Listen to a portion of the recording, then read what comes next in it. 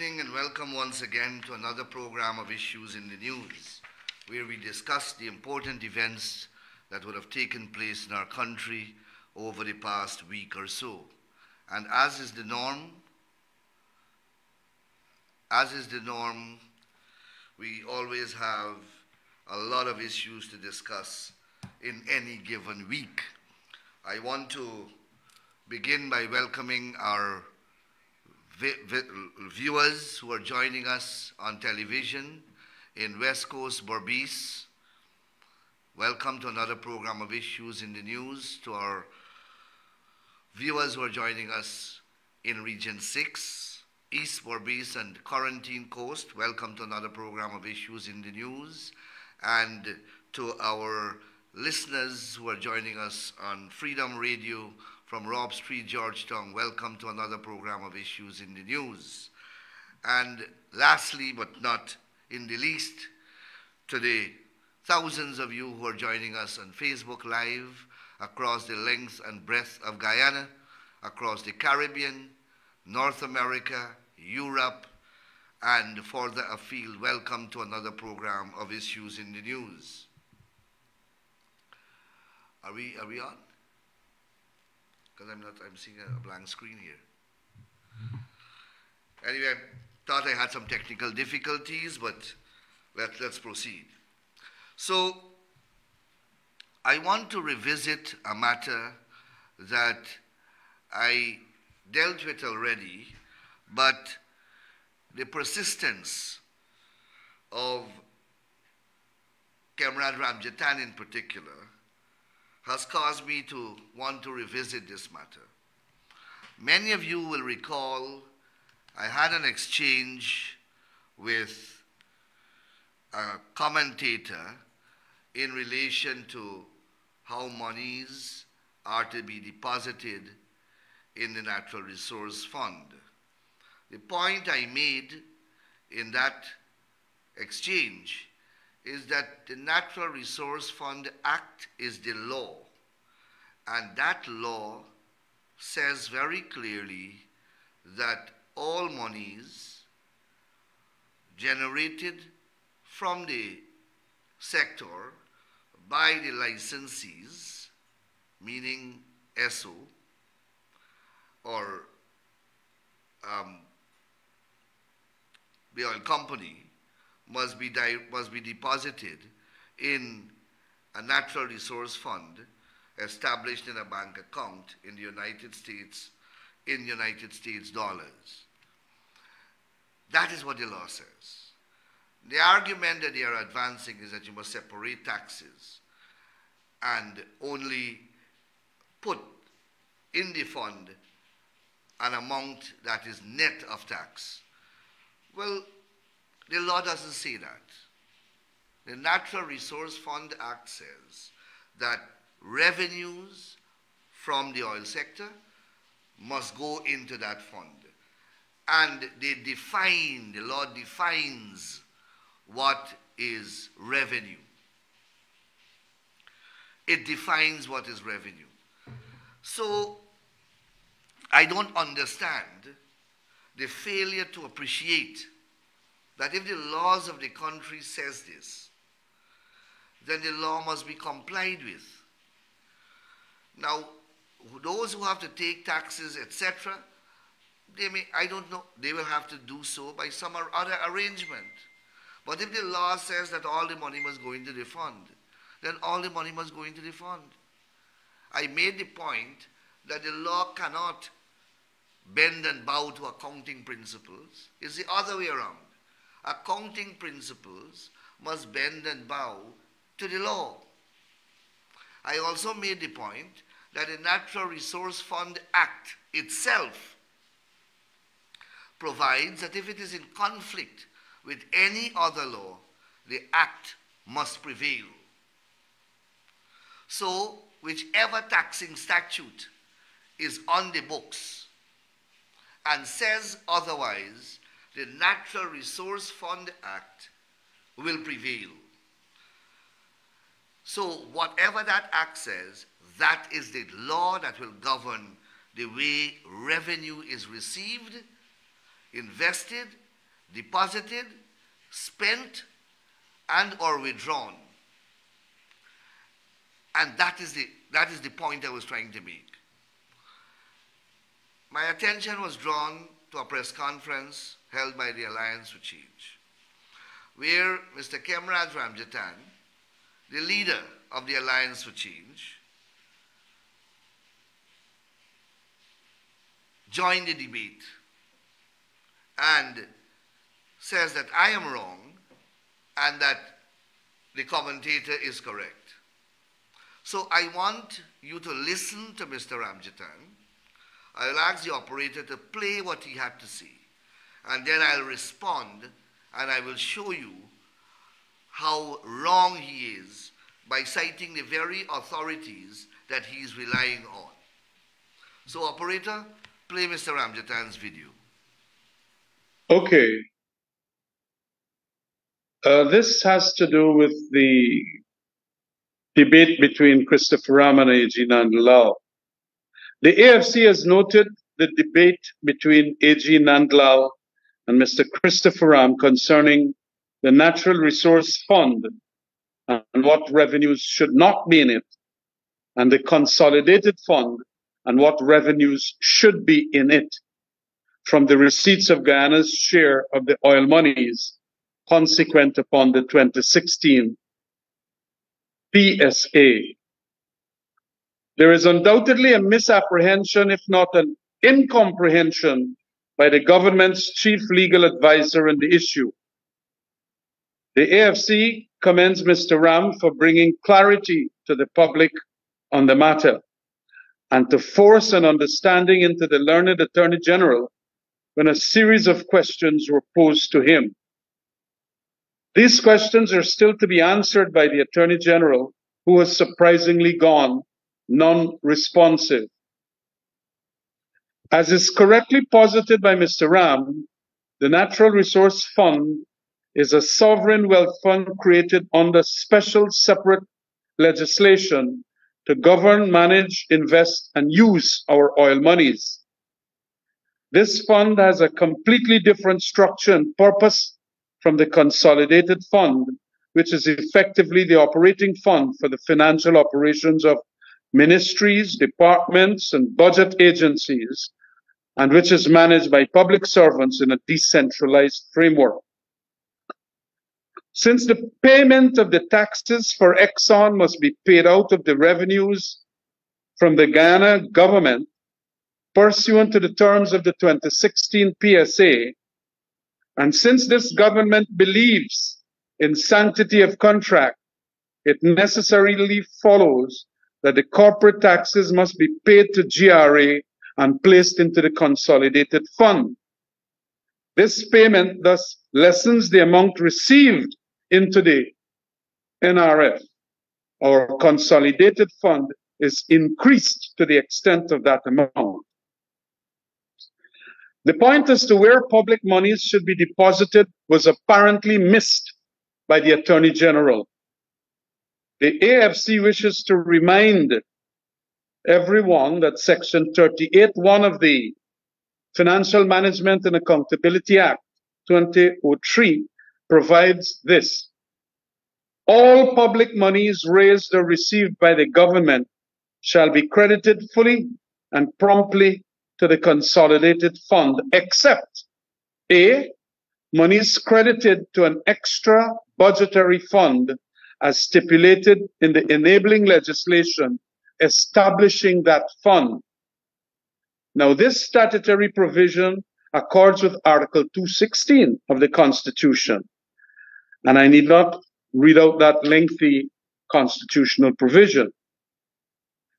The AFC asserts that the Natural Resource Fund and the Consolidated Fund are thus separate things. So the oil company corporate taxes paid by the government of Guyana to the GRA must be sent to the Consolidated Fund. And the rest of the oil earnings must go to the Natural Resource Fund.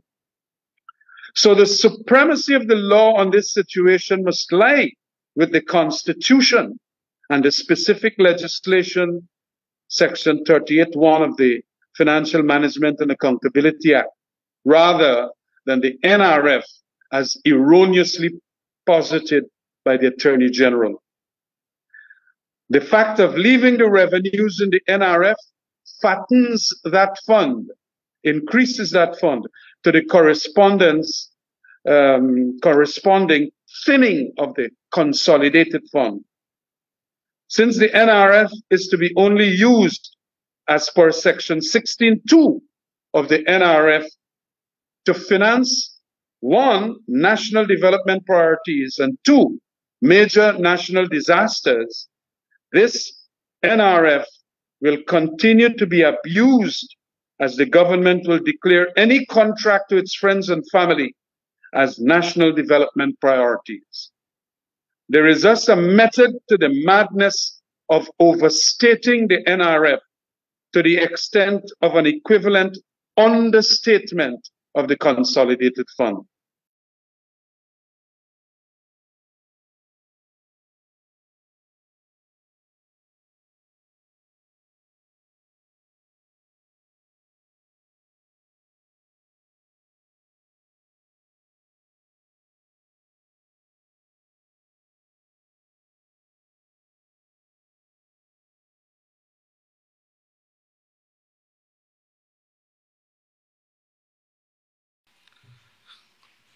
Thank you, operator. So you heard Mr. Ramjattan very clearly.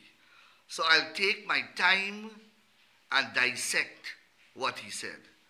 Now, Ramjattan makes the point that Section 38 of the Fiscal Management and Accountability Act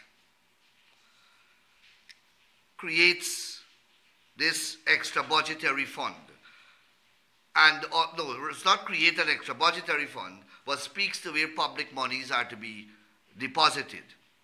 And he's absolutely correct. So let me read it for you. All monies, all public monies raised or received by the government shall be credited fully and promptly to the consolidated fund except monies credited to an extra budgetary fund as stipulated in the enabling legislation establishing that fund. Let's go again, slowly.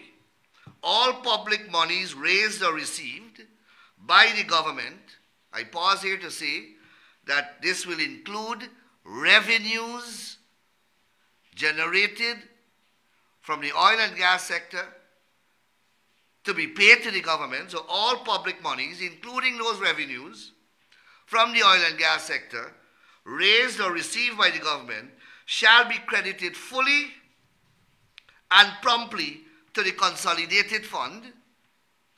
No problem so far, except monies credited to an extra budgetary fund as stipulated in the enabling legislation establishing that fund. My friends, Ramjattan does not understand that the Natural Resource Fund is an extra budgetary fund that is being referred to here.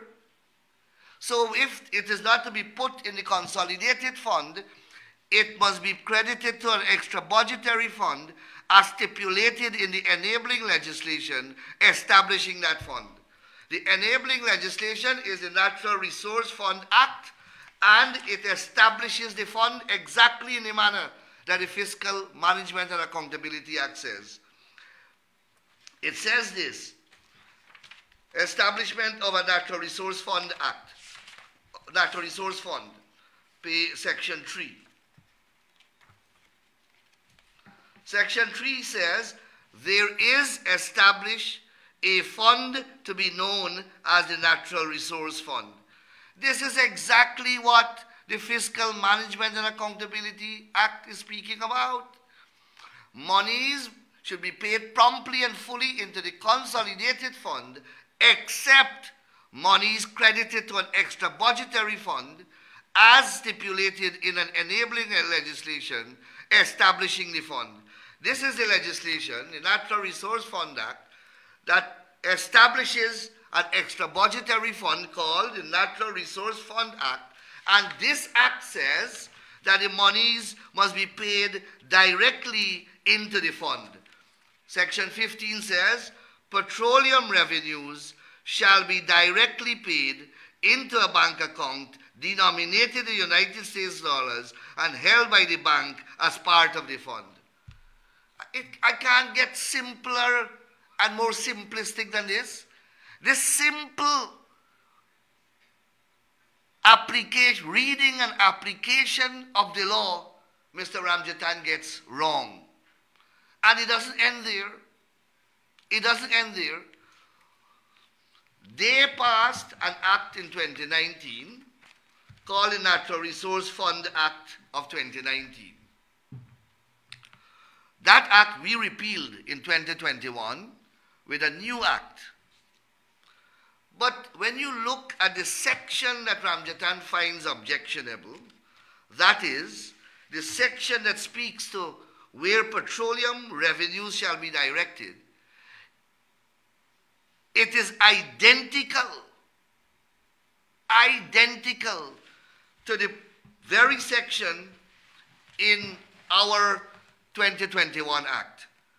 There, in their Act, it was Section 21, and in the our Act, it is Section 15. I have asked the operator to put the two sections alongside each other. Put it up on the screen so that people can read both sections. And you will see that they are identical.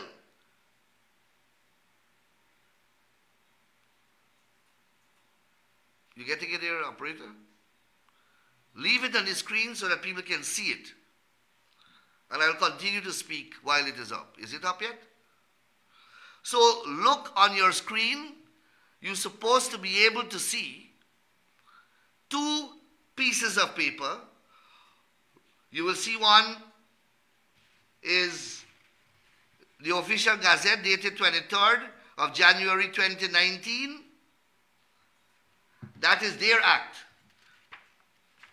The title might be a little wrong, Tax Amendment Act. That's not, forget that for the time being. But look at section 21 and then look at section 15 of the 30th of December 2021 document. The 21 document is ours, the 2019 document is theirs. You will see that the two sections are identical. Now, Khemraj Ramjattan was part of this government that passed this act. I'll speak about a little about the passing of the act a little later. But he was part of that AFC, APNU government that passed Section 21. We didn't change Section 21. We replicated as Section 15. Nothing changed. Nothing changed. So I don't know how Ramjattan has a problem with our legislation but he had no problem with theirs. Christopher Ram, the commentator to whom I replied, is the same thing.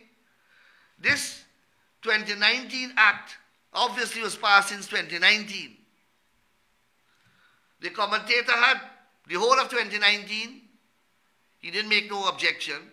2021, 20, 2020, 2021, 2022, and in 2023, the ending of 2023, five years after he discovered this eureka moment that something is wrong with the legislation, that it doesn't provide for taxes to be paid by GRA. It didn't provide for taxes to be paid by GRA because that is how the government structured it. You can't argue that the law is wrong and you are right.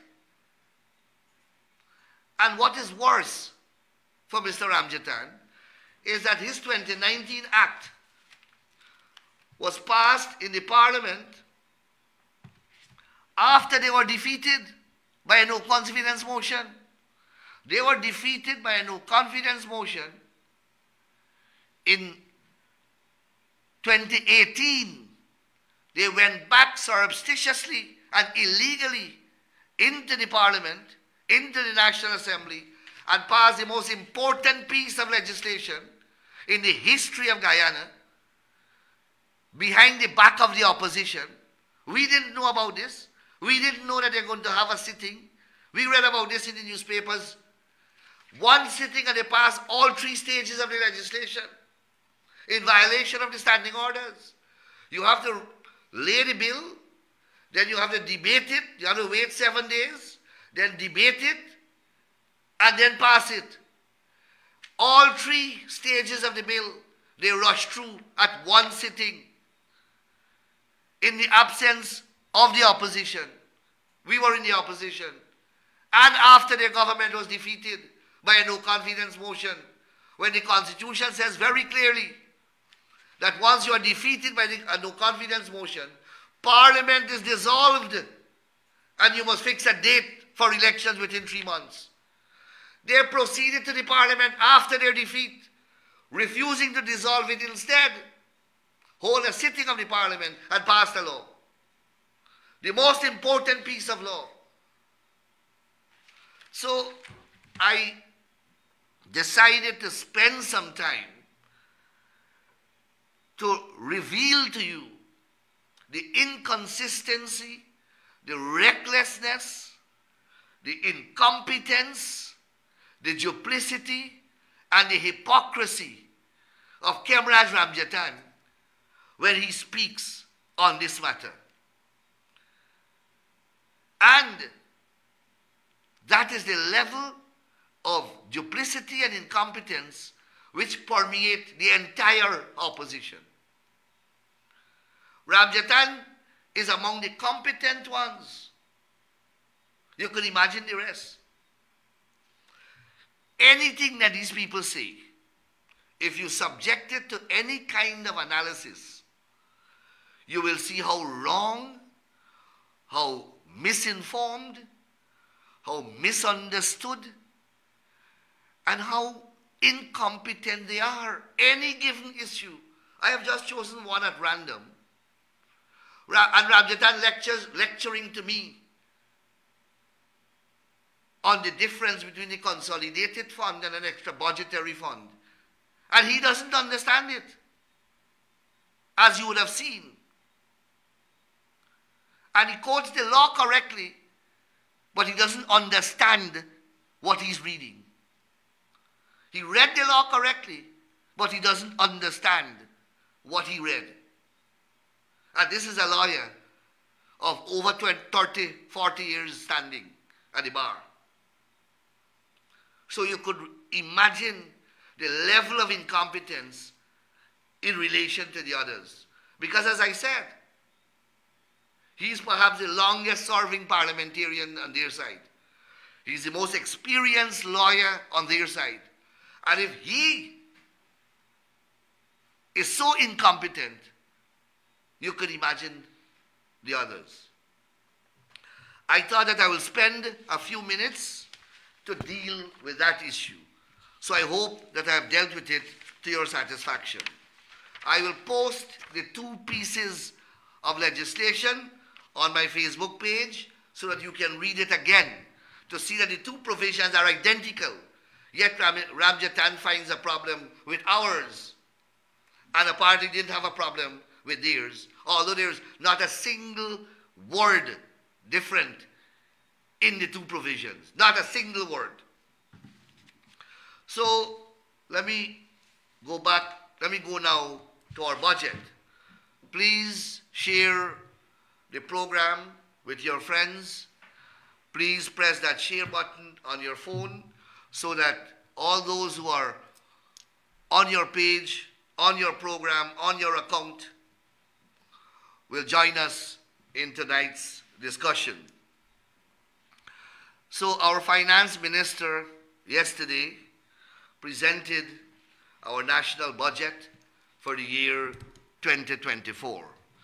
And there are some broad comments that I want to make about the budget. The budget is by far the largest budget ever presented in our country. $1.146 trillion. $1.146 trillion. it is almost as twice the size of last year budget. Let me repeat that. It is almost twice the size of last year's budget. It's 46% bigger than last year's budget. And it is financed without a singular new tax or increase in taxation. Let me repeat that. It is being financed without a single dollar increase in any taxation or any additional new taxes. And it has a host of measures directed at every sector of the country.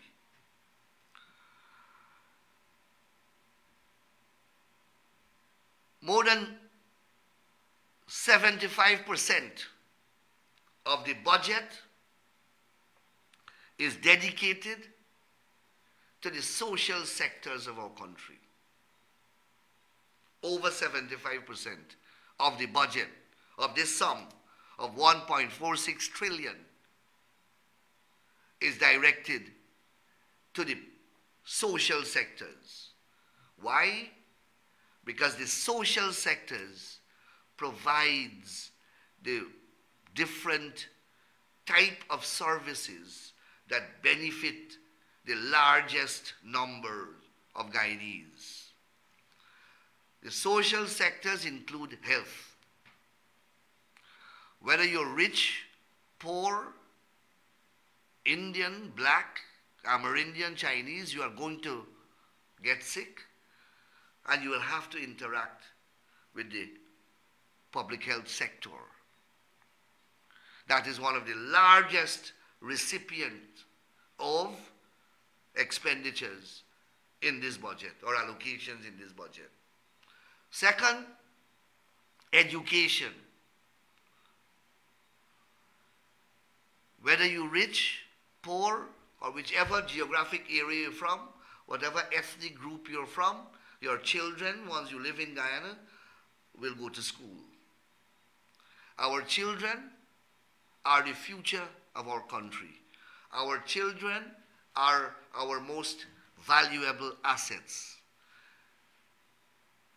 An investment in education is an investment in our most important asset. An investment in our education is an investment in our future. That is why over a hundred and thirty odd billion has been budgeted for the education sector. Thirdly, housing and water. Every Guyanese would like to own their own homes.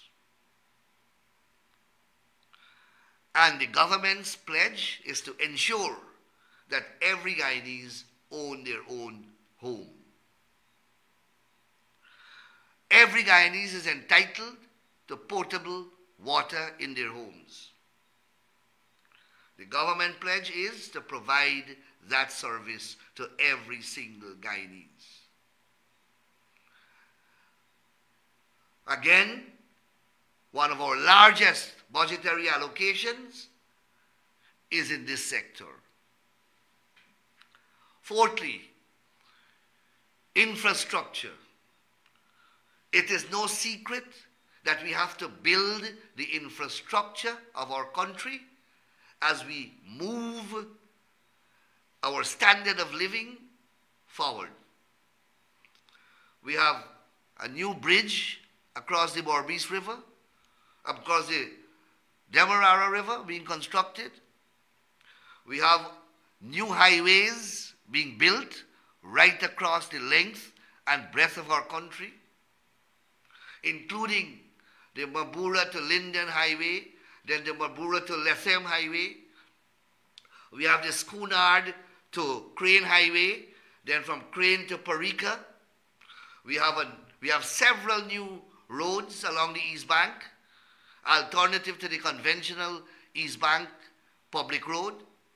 We have road linkages from East Bank straight along to the East Coast without coming through Georgetown. We have the Mandela Avenue extension. We have a new Corentyne highway. And we have thousands of roads in the communities across this country that we are rebuilding. And we are building for the first time. We have the electrification. We are going through a new electrification program. We are building a gas to shore project that will ensure cheap, reliable electricity and cooking gas that will benefit generations of people, generations of Guyanese.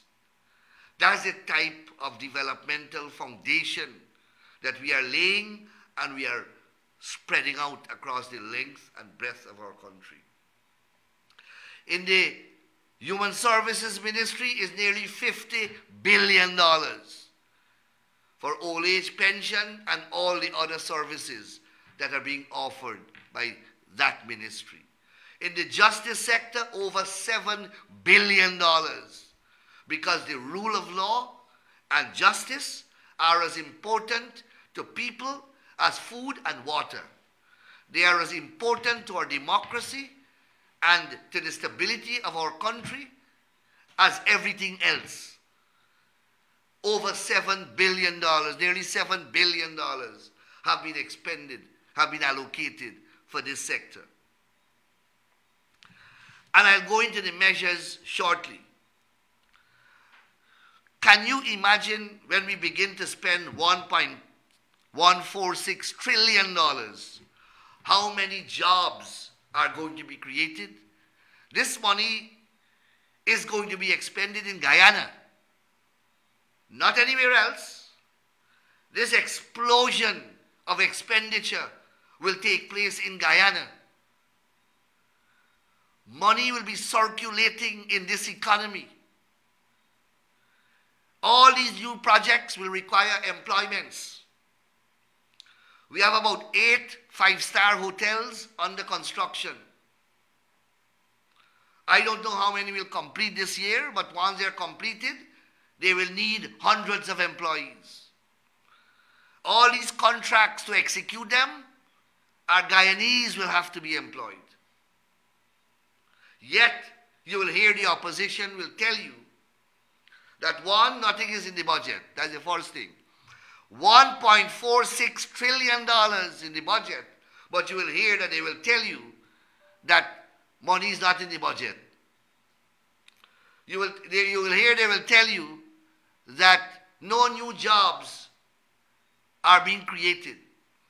Though we have, we have budgeted billions for the University of, Edu uh, um, University of Guyana and the Gold Scholarship Program to train people, to graduate people, and all these new vistas of development that are taking place across this country for which this 1.14 trillion will be expended will not create jobs. You will hear that they will tell you that this money, and they have already begun to say it, is to create opportunities for corruption. They, they, they are vacuous. They don't have an idea to contribute. They don't have an alternative development plan. They can't point to any track record of development when they were in government. But they have a whole host of ideas which they are keeping to themselves because they're not making it public. But you will hear in the budget debate, you, you, you, the money will be stolen. The money will be stolen. They think that everybody is like them. They are salivating at these monies. When they hear these budgetary allocations, they are salivating. They're only thinking, oh my God, imagine if we were in government. When they were in government, the only thing that consistently increased was expenditures for diet. They increased their dietary line in the budget by billions. They were eating more, drinking more, traveling more, and having pomp and ceremonies. Big independence celebration, big republic celebration, big Mashramani, big fete in Brooklyn, big fete in Atlanta. That is what they were concerned about. The fetting and the partying and the decoration of the place. Nothing constructive over development. And eat a lot and drink a lot at the Marriott and at the Pegasus and all the drinking places and traveling first class around the world. That is what they were concerned about. That is where their money went. We are pointing to projects. We can point to the Berbice Bridge. We can point to the Demerara New Bridge. We can point to all the roadways. We can point to the 12 new hospitals that we are building. We can point to the new airport. We can point to things. Let them point. What are they going to point to, D'Urban Park? They got 11 donkeys and 12 horses grazing in there with about 1,400 vagrants. That's what they will point to. They will point to a roundabout at the mouth of Vlissengen Road. They will point to two walkways, two over, overpass, passengers overpass, passengers overpass, that car overpass on the East Bank, none of which are working. Those are this, their signal accomplishments in government. But you will hear them from next week in the parliament. What and what they, they, they should have done, and which is their idea. Imagine we are bridging the Wismar Bridge. The Wismar Bridge needed to be bridged a long time ago. The leader of the opposition said that we stole his idea. Your idea, you had an exclusive idea to repair the bridge or build a new bridge across the Demerara River. These people, I don't think they even listen to themselves. I don't think they even listen to themselves. We are bridging the Corentyne River. We are bridging the Corentyne River. We already bridge the Takutu River. Create a link between Guyana and Brazil that you can drive over. We're now doing the same for the Corentyne River. This useless bunch are going to stand in the parliament the whole of next week and preach racism and corruption. You will hear them. Only about the, all they see is race. We are spending all these monies across every community in this country, but you will only hear racism. You will only hear about racism and about corruption. Listen, starting Monday. But let's get back to the budget. So I'm not going to deal with the huge expenditures and the different projects. The ministers will be talking about that. But there are some real measures that are, are in the budget that will immediately impact in a positive way the lives of Guyanese from every sector. And let us start with the measure to contain the cost of fuel. There is nothing that causes an increase in prices across sectors, an increase in cost of living and inflation than the rise in the cost of fuel. Fuel is a very volatile item on the world market. The prices fluctuate tremendously. Over the past two to three years, the fuel prices have risen dramatically. In Guyana, since 2022, the government of Guyana removed all taxes from fuel, including diesel and kerosene oil. All taxes. So that you don't feel the increase. The gas price that you're paying for gas should have been much higher.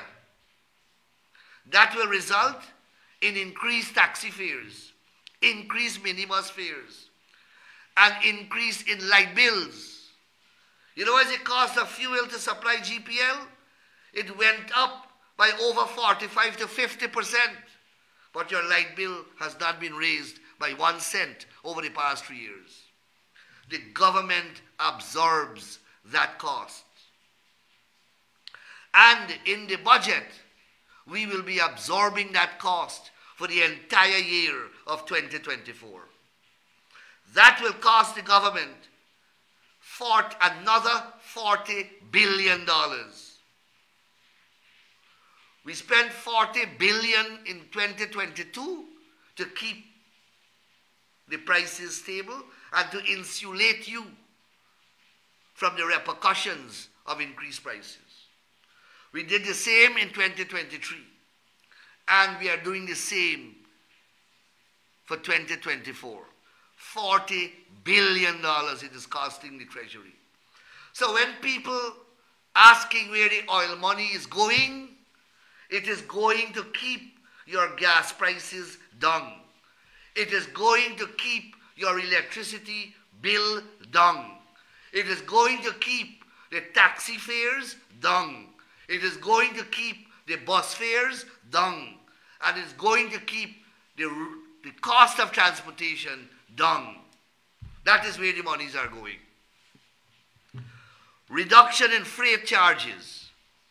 You would recall that as a result of the COVID 19 global pandemic, there was a meteoric rise in freight charges. I am an importer, or used to import during that period.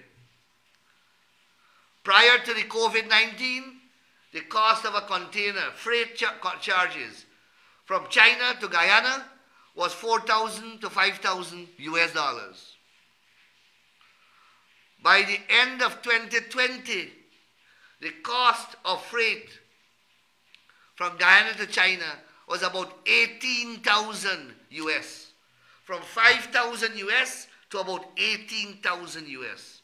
And I'm not asking I am not depending upon hearsay. I pay that myself to import containers from China.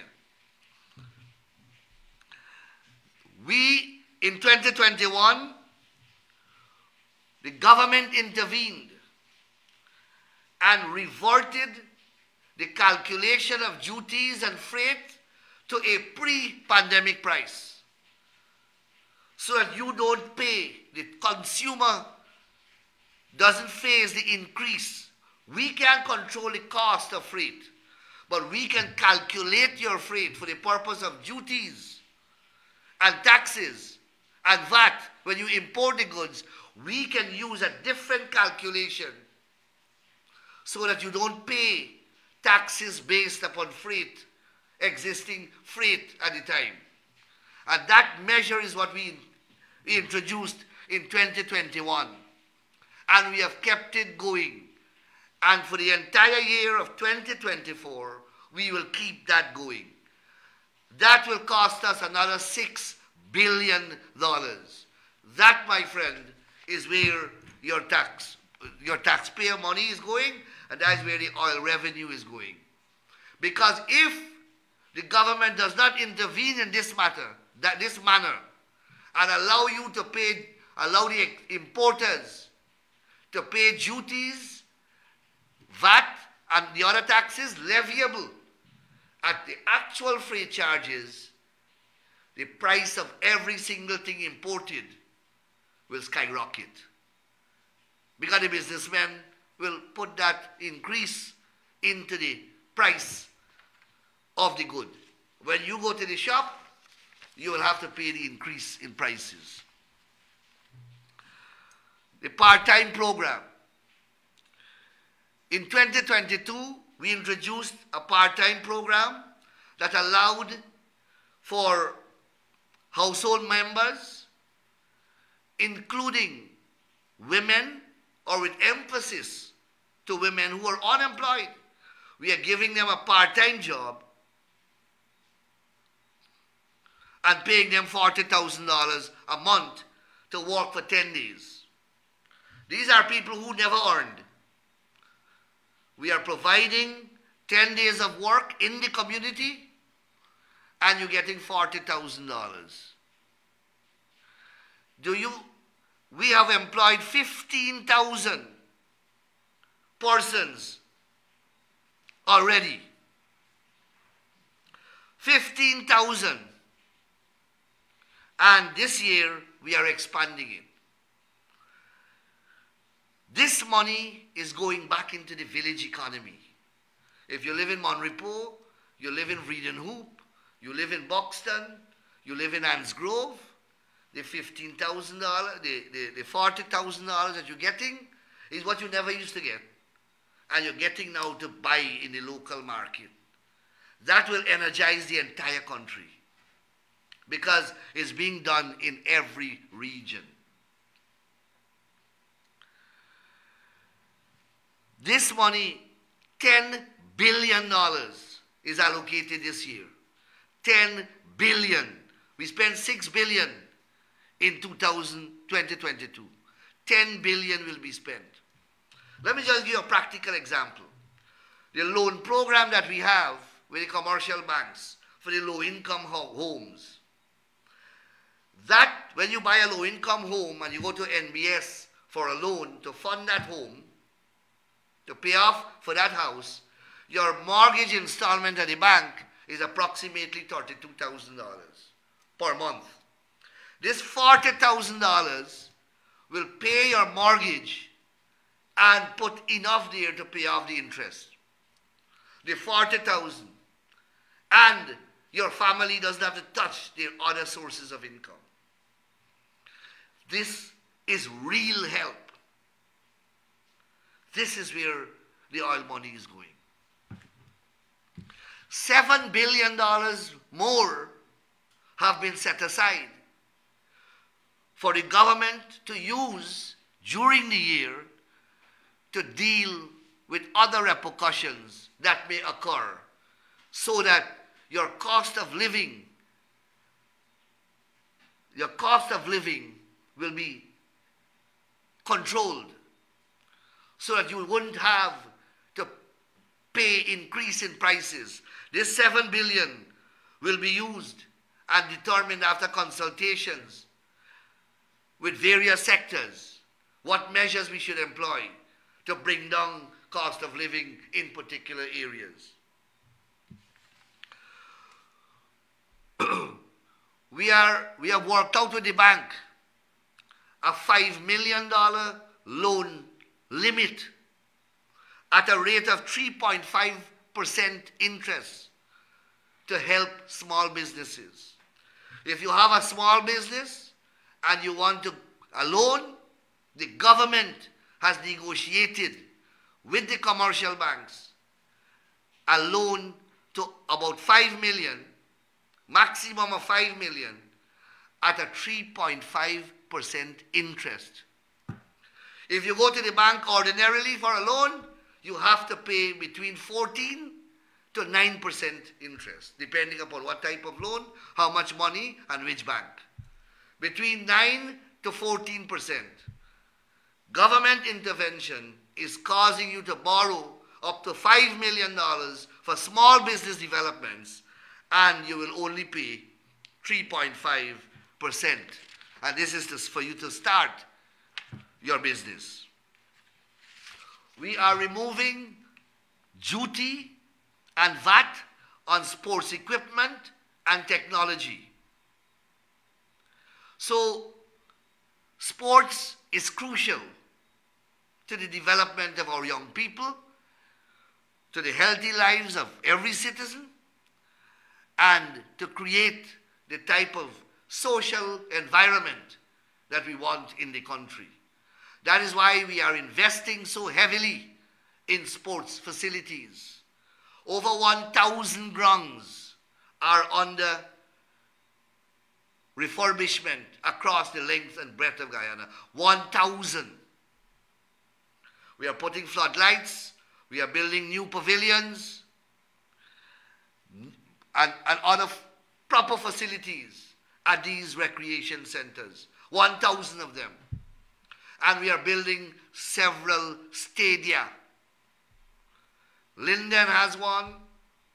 Berbice has one. And somewhere else there's a third. Essequibo. Thank you, operator. One in Essequibo. Three stadia in addition to 1,000 grounds. Now we are removing VAT and duty on sports equipment so that they can become more available, more um, affordable. We already took off VAT and applicable taxes from cell phones and data for personal and residential purposes. We already did that. In 2024 budget, VAT and duty on essential cell phone accessories such as chargers, charging cables, headphones, and other phone components will be removed. So, VAT on cell phone accessories and duty will go. That is where every single Guyanese has a cell phone. Every single person will benefit from this measure and every other measure that I'm making reference to. Old age pension, when we came in from 2020, we move it from 20,000 to 33,000. We are now increasing it from 33,000 to 36,000. This represents a 75% increase in old age pension and will benefit 76,000 people. And it will cost the government 2.7 billion. But it is 2.7 billion that we are giving back the population. I hear people, the opposition already starting to scream, oh God, $3,000 only. But is that $3,000 in isolation? Is $3,000 with all the other things that we are doing? This singular measure is 2.7 billion. Let's go to public assistance. Public assistance got an increase from 9,000 in 2020 to 16,000 in 2023. In addition, the government announced in 2022 that all disabled people would automatically be enrolled to receive public assistance on a monthly basis. That's what we did in 2023. With effect from January the 1st, 2024, there will be an increase in public assistance from $16,000 per month to $19,000. This will give over 35,000 people an additional 1.2 billion in disposable income. You cannot be myopic and look at one measure. You have to look at all the different measures. And mind you, I pause here to tell you or to remind you that all these measures are being implemented. All of them increases, each one of them increase allocations. But there is not a single new tax. There is not a, a single increase in existing tax or existing taxes. I test for school children. Over 205,000 school children and 76,000 pensioners will receive a $3,000 voucher towards the cost of an eye test. Let me repeat that. 205,000 school children and 76,000 pensioners will receive a $3,000 voucher towards the cost of an eye test. This will cost over 840 million. So in addition to the $3,000 that I spoke about earlier, the old people getting another $3,000 to go and test their eye. And now when they go to the, buy the spectacles, they will get $15,000 voucher towards the spectacle. They will get another 15,000 towards the purchase of a spectacle. You want to point to any other country in the Caribbean that has these measures? You want to point to any other country in the third world that has these measures? You want to point to the United States of America that has these measures? There you have to pay insurance. A large chunk of your income goes every month to insurance before you can get any medical benefits. This is the government spending all of this without a contribution, without a single contribution from the beneficiaries. Not like in the US, where you have to pay insurance premiums. This here is gratuitous. And it will, this facility will extend countrywide. Because the Minister of Finance pointed out that even in the hinterland areas where you may have difficulties in accessing a doctor, we will take the doctors there and they will do the eye tests in the hinterland community. Point to which country in the Caribbean or in the third world or in the first world where you have facilities like this. Then we move to cervical cancer testing. In order to support cervical cancer testing, the government will offer women between the ages of 21 and 65 an 8,000 voucher, $8,000 voucher to help with the expense of testing. A lot of our women are affected this way. Eight, $2.8 billion is budgeted to cater for this voucher of $8,000 that you will get to pay towards the test. And this is not only at the public hospital, you can cash this at any hospital, at any of the private hospital of your choice. So you see the money that the government is spending in the private sector as well.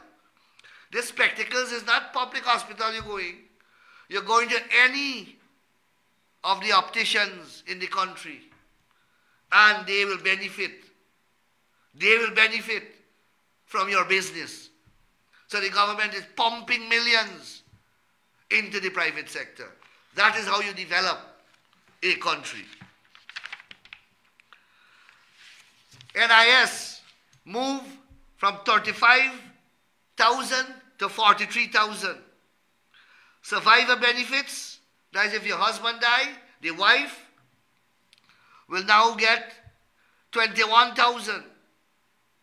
$600 million has been allocated. We are giving a pension now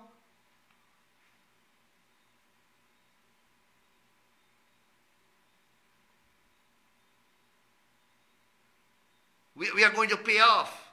Remember, a lot of people did not make the 750 contribution at NIS. Well, we are putting in a measure to help those who got between 700 to 749 contributions. So if you have not made the 750 contributions, but you have made 700, then you will get a one-off payment. Over 3,800 people will benefit from this intervention. And this will cost $550 million. And let me wrap up because I have so many to deal with. The, the cash grant. The cash grant, since we came into office, we restored it. APNU AFC had cut it out. That's the first thing. And you can hear us shouting about school children in the parliament from Monday, how they care for school children. Yet one of the first things that they did when they go into, went into office, they cut the cash grant out. We restored it and raised it from 10,000 to 20,000 when we took office in 2020. We raised it to 35,000 in the 2023 budget. And this year, we're raising it to 40,000. And that is in addition to the $5,000 uniform voucher. So it's 45,000 per child. 205,000 children will benefit. 205,000 children will benefit. This is 9.2 billion. Where you think this money going? You're spending it at the market. You're spending it in the community. You're spending it in the local economy. Who will, who, who will you buy from? The private sector. You see how the money is passing hand? The opposition will never see this. Somehow they will find corruption. Somehow they will say that Afro Guyanese children are not getting this grant. Although 90, percent of the Ministry of Education staff who are running this program are Afro Guyanese. And over 70% of the teachers in the country are Afro Guyanese. And they are distributing this grant. But APNU AFC will want to say in the parliament that Afro Guyanese children are getting this grant. So the Afro Guyanese people in the Ministry of Education and the Afro Guyanese teachers in the country are deliberately preventing Afro Guyanese children from getting this grant. That is the kind of madness that they speak in the parliament that you will hear. And let me conclude with the income tax threshold. We have moved the income tax threshold from 65,000 to 75,000 in 2022, then to 85,000 in 2023. This year, we are raising it to 100,000. What that means is that $100,000 of your salary is income tax free. So if you're working for $200,000, you're only paying income tax on the last 100. The first $100,000 is tax free. This will cost the government $4.8 billion in disposable income. My friends, I have done just a synopsis of the budget measures and tried to explain it to you in the simplest language so that you understand, so that you people have a fair understanding of what the budget holds for Guyana and Guyanese. But you will hear from the opposition when they begin their speeches of gloom and doom in the parliament from Monday. Thank you very much for spending the last hour with me. Please enjoy the rest of your evening and stay healthy until we meet again. We will not be having issues in the news next week, Tuesday, because I will be in Parliament, but I'll be streaming, I believe will be streaming Budget Debate Live from my Facebook page. So thank you very much, and until I see you after the conclusion of the budget debates, take care and stay healthy.